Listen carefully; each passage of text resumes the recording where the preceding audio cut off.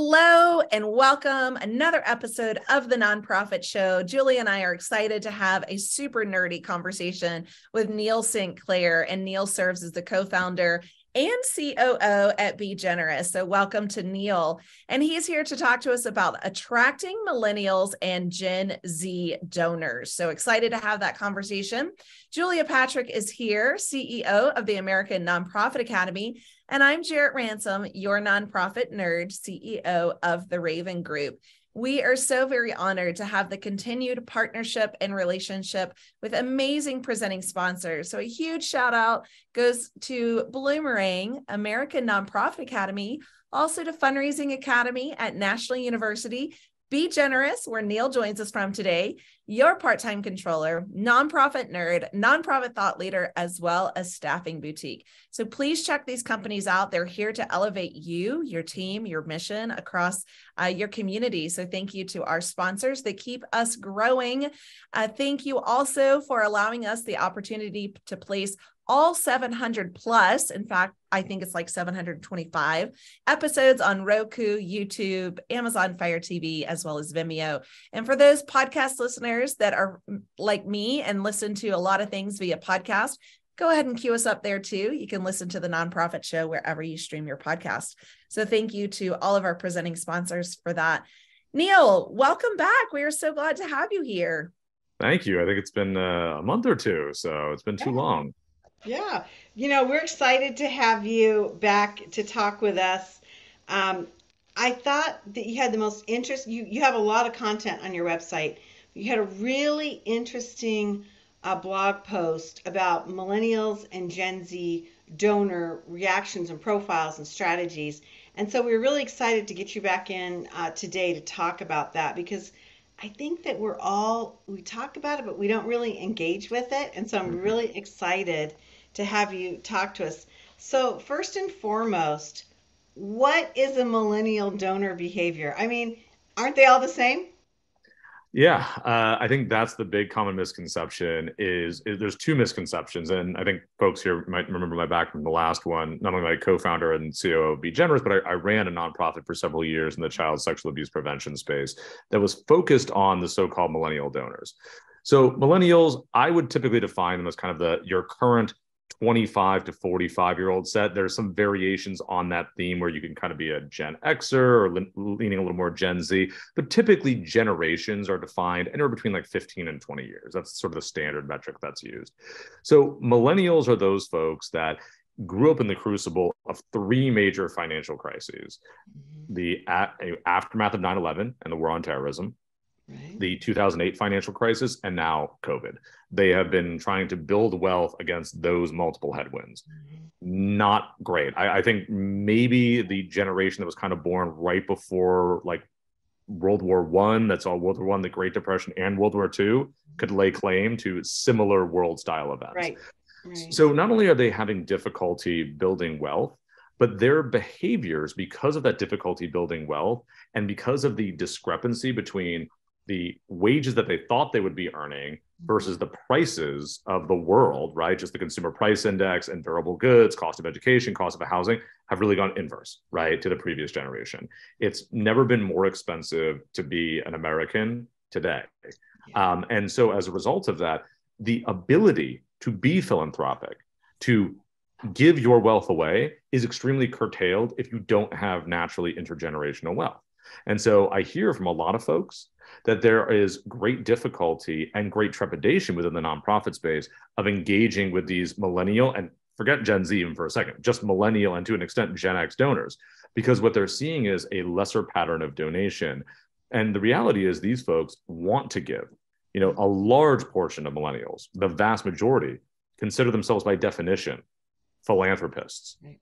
right. Yet, less than two thirds have actually ever given even a single dollar to a charitable or philanthropic organization. And that's that great discrepancy. Set aside the fact that there's some distrust of institutions layered on top of all of that, right? And they're looking more for the charity waters and the cool, innovative philanthropies of the world. They don't want to give to mom and dad's Red Cross and International Rescue Committee. They want to do something a little different, right? Um, they're very woke.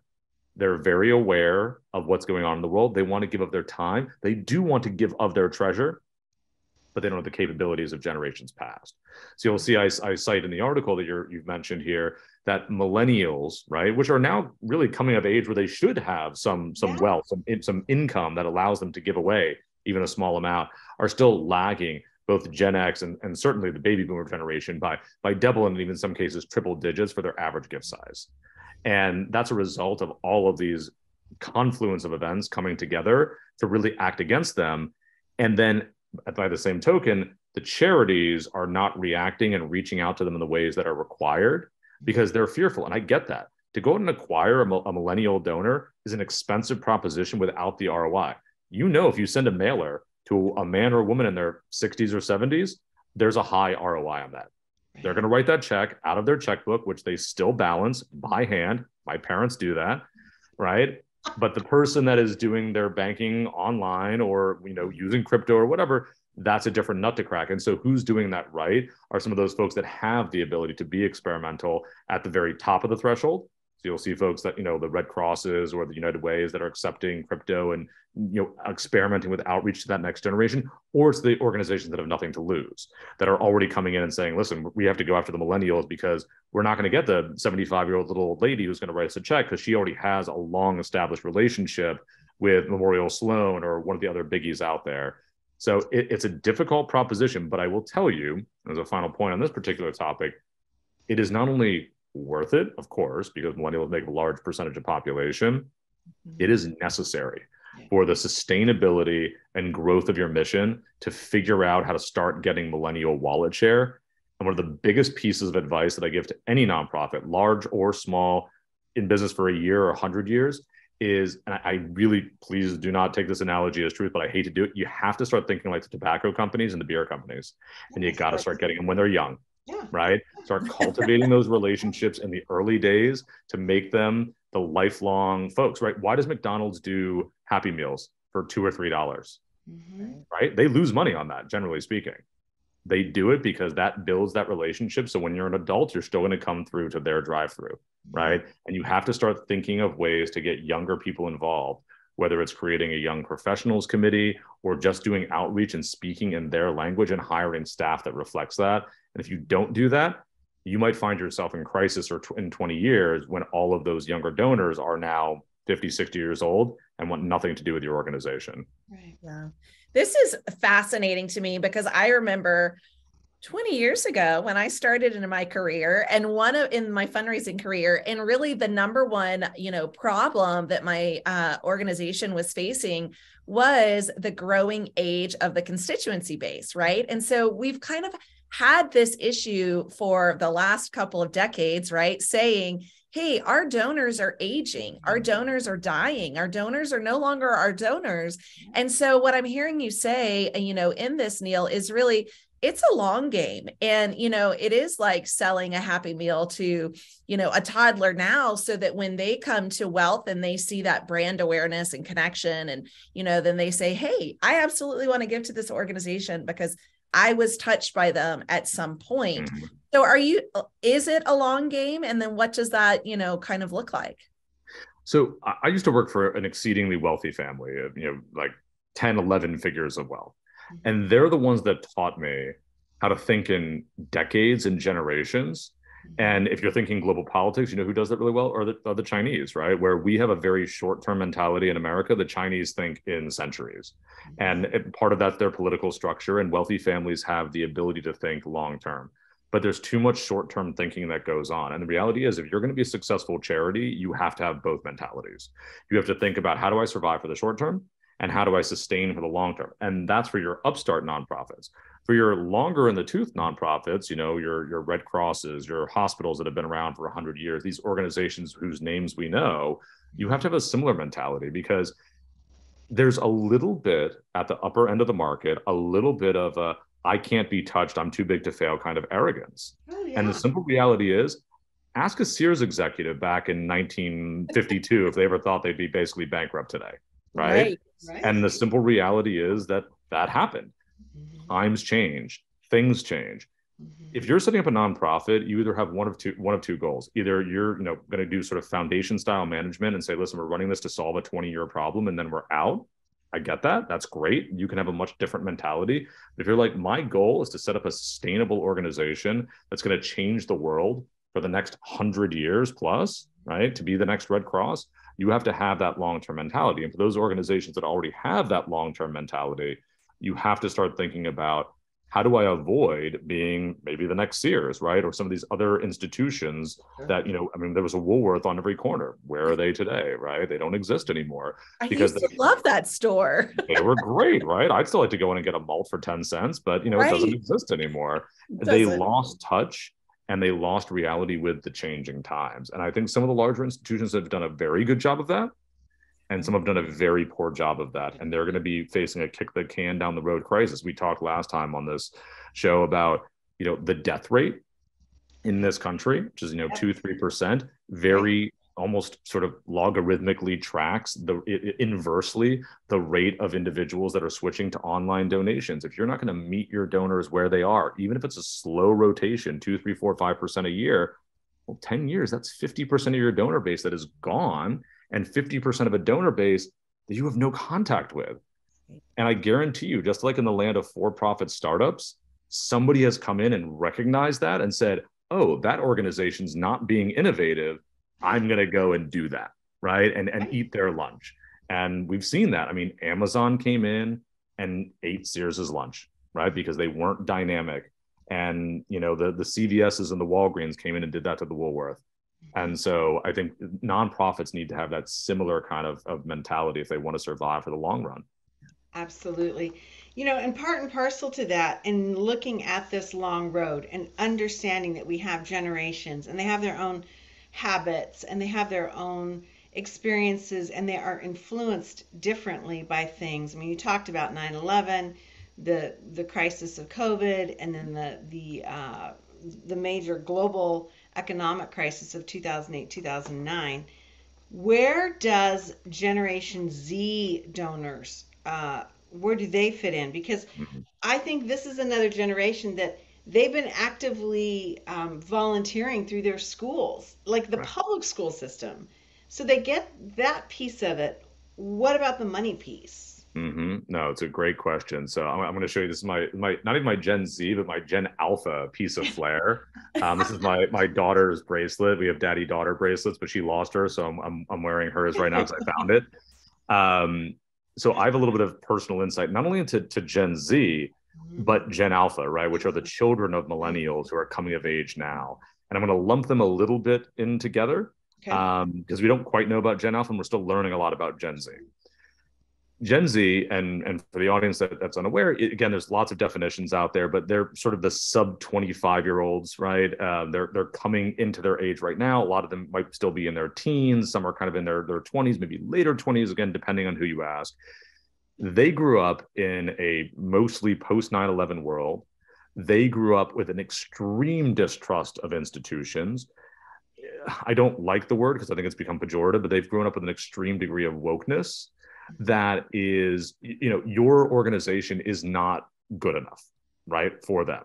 Right. They they are is very much a mentality of having a much deeper direct relationship with the organization hence why you're mentioning that there is a lot of volunteerism right and so again it's all about the idea of meeting donors where they are and a big part of that is saying that these folks they don't just want to receive a mailer once a year and they'll send a check back Right. They want to be involved and they don't really care about the annual report, right? To see your efficiency as an organization. They care about the mission, they care about the cause and the good work that you have done and that you lean into their values. This is a value driven or, you know, level of individual. And if you're not doing that, they will find somebody else that will do that in the way that they think right? This is a, this is one of those generations that i think is going to create a real sea change in the way that both brands and nonprofits who are also a variation on brand need to engage or you will lose that consumer and somebody else will come in and figure out that way to speak to them very meaningfully. And on the topic of meeting them where they are let's be very clear they're not on facebook right? Especially Gen Alpha, right? My daughter has no idea what it is. She's like, that seems ridiculous. That's like, that's like Windows 95 to her, right? It yeah. just it just seems silly or incarnate. It's like it's it's goofy stuff. They're on TikTok, they're on Snap. By the way, they're abandoning Instagram now as well. they're in chat functions, right? They're on WhatsApp. They're they want real dialogue and they want short, pithy video content. It's a whole different fundraising ballgame mm-hmm. for these folks. It's done through influencers as opposed to brands in a lot of scenarios, right? It's a lot more, again, about sort of building personal relationships. We don't know what they're going to look like from a wealth perspective yet, right? Millennials got kind of the, the short shrift on this. And we don't quite know exactly what the full Gen Z size is going to be, both in terms of wealth and as a, a segment of population, probably somewhat similar to millennials. But as they mature into their wealth and into their careers, I would augur even more than millennials, if you have not established an early relationship by having them volunteer and be proactive and coming out and meeting them where they are on the social media channels where they are, they are going to leave you behind and happily so. And Gen Alpha, from the little insight that I've seen with my two kids, that, that that's they're doubling down on that Gen Z mentality, uh, both of, of wokeness, um, and of sort of new avant-garde ways to interact with with brands. There has to be an entire switching of mentality maybe not today probably about five to ten years to think about it right? Because they're not going to be making up the majority of your fundraising but you do have to start strategizing about that group because maybe they won't be on tiktok by the time they can become a meaningful donor but you do have to start thinking about how you can cultivate right? And that's the biggest word I always give to folks. You have to cultivate relationships mm-hmm. early on, or they will not respect you at the point at which they can become a meaningful donor. But they'll respect that small upstart organization that's been able to stick it out for these 10 years. And that's where their check's going to go. And you're going to see a lot of deficit of larger organizations and sea change of lar- larger organizations that didn't do that prudent planning facing a reckoning within the next 20 to 30 years. And, and Gen Z is going to be a real catalyst to that. Neil, one of the thing I heard you say uh, in particular for the Gen Zers is, you know, they don't really care so much about the impact report, the annual report, you know. So that leads me to think about trust philanthropy, right? Trust based giving. And so, really moving in that space to say, hey, I've been watching you. You are innovative. You have caught my attention and you've kept my attention. Here's my money or my time. Use it however you wish. Are you seeing that as a trend? Yeah. Yeah, it's a great question. Um, I think it's a, a, little bit of both, right? I don't think there's a pure answer on this. Some of it is, hey, wherever it will help the most. I mm-hmm. tend to see that more when there's a one to one model. Okay. And I would like to see more of that from more organizations where it's like, if you give this $50, this is specifically what will happen. 90% of your donation will go to buying a goat for a person in a, a, developing country and this is how they'll use it and these are the benefits of that right? Sure. that one-to-one modeling that personalization is really important and that's where i think that trust philanthropy comes in. Hey use it as you wish but i want to understand that if i give 50 bucks what is that sort of philanthropic roi that i'm getting? But i trust that you as boots on the ground will understand that. Mm-hmm. but by the same token some people say i don't trust I want to actually see and hear. I want you to do storytelling mm-hmm. and or I want to be involved, right? If I if I can meaningfully be involved in some way and come out and actually help out and then say, "Oh, I see where my treasure would meaningfully go to this organization because I've actually seen the results and impact on that, right? Remember, millennials kind of started this. Yeah. Gen Z's really taken up the mantle. This is the show me generation. They want to be out there and get the selfie yeah. while they're doing good and show that to their friends. That social proof is so massively important. And just saying, hey, I struck a check doesn't do it anymore, right? You'll actually get harangued by your friends for doing that. Hey, great that you're, you know, you've got that money. Like, right. good on you. Why aren't right. you out there doing some some good in the world, right? right? What have you done today, right? If, if you ever get a chance to read the philosopher Peter Singer, he's an Australian uh, philosopher, wrote a lot specifically about animal rights and animal welfare, and he has this sort of amazing phil- philosophical concept out there where he says if you're walking down the street and you see a man or a woman with a broken leg in the middle of that street about to get run over by a car wouldn't you go and help? He said of course i would. I'm a moral person. I'd drag them out of the way get them medical attention. And he says well there's another person a thousand miles away with the same broken leg and same peril how is your moral obligation to that person changed just because of distance right and when you start to think of it, it's like it really hasn't, right?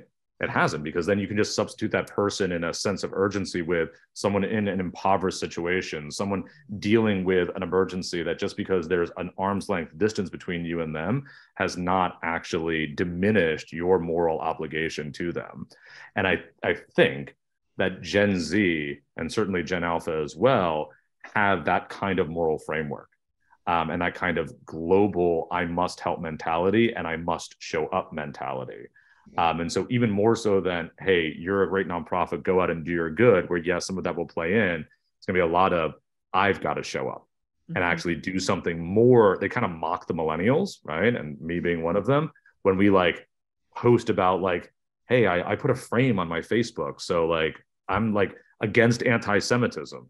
Right. Great. What did you do? Right. What else what did, you, do? do? Yeah.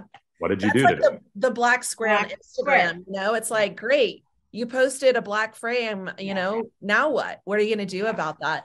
You know this is so interesting uh, neil and i think our children are probably similar ages. Uh, there is not a single cent that comes home for my son for anything because he's donated it to some you know box that's in front of the cash register or given it to someone who needed something more. So you know i'm seeing that age and he's 12 very giving. He is very giving um, and maybe some of that's because of you know i've i've modeled this through my work career and he's seen that certainly as have, have your children um, and he's a very, you know, very astute to technology, which brings me to, you know, the the buy now, pay later mentality and that impact of, you know, consumer behaviors. How have you seen this for the BGenerous platform, you know, change philanthropy today? Mm-hmm. Yeah, no, it's a great question. So the simple reality, as I mentioned earlier, is there's a huge disconnect between the economic reality of millennials, Gen Zs, probably Gen Alphas, um, and their their ability to earn income and wealth, right, sustainable wealth, and their ability to then give that away against the headwinds that they've faced, and just the fact that the world is so much more expensive. That's why we've seen a lot of an, an uptick towards those high net worth individuals, towards those major gift donors, making up more and more of the share of overall giving. Um, well, corporations have remained steady at six percent. Different right. discussion for a different day buy now, pay later, what we call donate now, pay later, is a necessity within the philanthropic space. There's a reason that buy now, pay later, right, in the the consumer space, what some people call reverse layaway, has done so well. A, the millennial and below generations do not trust credit cards or banks, right? The financial crisis of 2008 shied us all away from that. They don't like institutions. So there are some recent reports that said that two thirds of all millennials and even more of Gen Z don't actually own or utilize a credit card on a regular basis. That is a major sea change. They're using alternative forms of payment. They're trying to live a little bit more within their means because they have to. Mm-hmm. Um, and on top of that, credit isn't being extended to them in the same way. So buy now, pay later, if you want to buy a dress or a TV or whatever it is that's outside of your means, is becoming more and more popular, but out of necessity, not necessarily out of avarice and desire to to be acquisitive right? It's just the i have to have that in order to get the things that i need because i'm paying $6000 a month for a one bedroom 300 square foot apartment in new york right? That's just so you know some of, the, some of the realities of the world. So that model need be cross applied to these millennial and certainly gen z donors as well because they don't have the financial capability to pop down a credit card and spend a thousand dollars on an auction item and then materially meaningfully pay that off because their income is greatly constrained and they're paying back student loans in a way that our parents and grandparents generation didn't have to.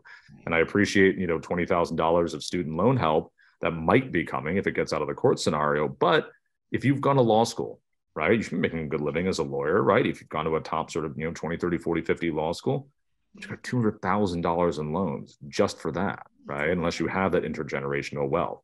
Do you know how much on a, even on a 25 or 30 year payback basis, servicing $200,000 of loans, even with a de minimis interest rate is? You're talking $2,000 a month sometimes right. to service that loan. And you're maybe making a starting lawyer salary between 100 and 150,000 dollars. Take taxes out of that. Da, da, da, da, da. You're working in a major city because that's where the major law firms are. Right. That $10,000 a month of take home is already one quarter gone now you layer in your basic living expenses and you've got almost nothing left, right? bonuses don't exist in the way that they were. Less millennials and Gen Z are able to engage in sort of other wealth building activities like buying homes or getting involved in the stock market. A lot of things that are coming against you. So donate now, pay later, you know, in our scenario, interest and fee free, spread out those payments over time, three, six, and nine months. It's it's a it's a wonderful thing. We would be doing this even if this wasn't a, a financial reality because it is always helpful to be able to pay over time. But we are, are also a necessity in order to engage those younger generations. And so what we encourage a lot of our clients to do is not only market donate now, pay later to your current audience, but if you're a little fearful of going after those millennial donors right now, offer them donate now, pay later. Show them that you're not saying, I need a thousand dollars in my pocket today to go out and do good in the world. Be like, I'm still going to get the thousand dollars from BGenerous. Amazing. They pay me up front, but I want to make sure that I'm being respectful of your wallet. Mm-hmm. Right. And the other difficulties that you're facing. And I feel like a lot of nonprofits, you know, I'm Jewish, so I can say this, they go the Jewish mother route, right? And they goat you a little bit. Oh, mm-hmm. come on. You can't give a thousand dollars today. There's homeless right. dogs, there's veterans without meals. What are you doing? And, and you do it, and it's, it's, it's painful to do that. And the reality is that nonprofits have to be a little more respectful of the fact that as much as we want to help as millennials and Gen Zers, sometimes we just can't. We can give of our time, we can't give of our treasure. So mm-hmm. that's why donate now, pay later really fundamentally has to exist. Now, interestingly, I will tell you, our our typical donor is much younger than the average donor, which, you know, the average donor, depending on your organization, can be 60 to 65 years old. Mm-hmm. Our average donor is actually around 48, 49 years old. So much younger, but it's not still necessarily that a 25 year old, right? And not that, yet. Not yet. Not but yet. that is exactly. because a lot of nonprofits are feel, fearful of marketing right. to that young generation because they don't think the ROI will be higher. Mm-hmm. And I have to encourage you, you're, you're missing out on an opportunity for like 20 to 25% of the population mm-hmm. by going directly to them to have this dialogue and conversation with them. Very little to lose, a lot to gain. They're already sort of behaviorally institutionalized to this type of, you know, sort of buy now pay later you know uh, sort of mentality and behaviorism donate now pay later makes sense to them. And so i would encourage all folks whether you're just offering a sustaining giving program um, or you're offering you know sort of you know donate now pay later as we do to really lean into that for the acquisition the donor acquisition equation for the sub sort of 40 year old donor i think you'll get some really material roi Neil, this is so uh, amazing. I, you know, as soon as I heard from Dom, your uh, co-founder in BGenerous, I was I was on board. Like I love what you're offering through BGenerous, the donate now, pay later. Talk about innovation. Um, so this is just fantastic. I hope that all of our viewers and listeners will certainly check out the website. It's bgenerous.com and uh, co-founder and COO. You heard from him directly today, Neil St. Clair. Julia mentioned the uh, blog that's on their website, so definitely check that out. It has just a wealth of information and uh, dives dives deeper on this conversation. So Neil, thank you. It's always a fantastic conversation, and I cannot wait to see where this platform goes. Thanks so much. Really appreciate you having me on. Yeah. It's been a lot of fun. Hey, everybody. Again, I'm Julia Patrick, CEO of the American Nonprofit Academy. Been joined today by the nonprofit nerd herself. Um, these are the, the things that we live for. We love these conversations, and we are so fortunate uh, to have the sponsorship of Bloomerang, American Nonprofit Academy, your part time controller, BGenerous, who we had Neil today um, on, Fundraising Academy at National University, Staffing Boutique, Nonprofit Thought Leader, and Nonprofit Nerd. You know, this uh, is the type of discussion that we have a lot on the nonprofit show, not just talking about those things today, but really expanding, you know, the horizon and looking that we do have a trajectory to follow if we want to be sustainable. And so, Neil, thank you so much for giving us a, a, a new insight onto that. My pleasure. Thank you again. Yeah, thank you. Hey, Jarrett, since I flubbed up so much on our exit last week, I'm going to let you take us out. Well, we have a lot going on this week. It was a wonderful opportunity to kick off with Neil today with BGenerous. We invite you to join us each and every day this week for another hot topics that uh, we have on the lineup. So until then, we ask you, encourage you, remind you to please stay well so you can do well. Thanks, everyone, and we'll see you here tomorrow.